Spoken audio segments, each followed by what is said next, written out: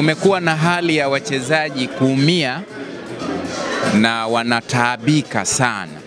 Huduma za kupata matibabu katika maumivu yale wanayoyapata wakiwa mchezoni inakuwa ni shida.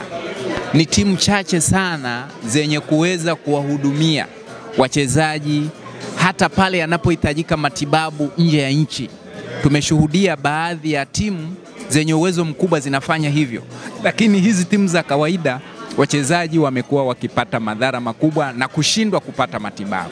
Sasa uwepo wa bima hii kwa ajili ya wachezaji na familia zao kupata matibabu kwa kweli ni jambo la ukombozi. Unajua, inafikia wakati fulani mchezaji akifikiria kwamba kuna mchezaji fulani aliumia akiwa mchezoni na hakupata matibabu yaliyostahimili, hawezi kucheza kwa moyo, hawezi kuwa huru kucheza kwa nguvu zote, anakatishwa tamaa na pengine uwezo wake ule wa kawaida wa kujitoa na kujituma ukapungua, kwa sababu anajua nikiumia hapa siwezi kupata matibabu yanayostahili. Lakini kwa hili ambalo limekuja sasa, bima kwa wachezaji pamoja na familia zao, nina imani litaongeza morali, lakini litatuweka sawa, kwa maana kwamba mchezaji yeyote atakayeumia popote pamoja na familia zao atakuwa covered na watapata matibabu sahihi na salama kwa wakati unaokubalika.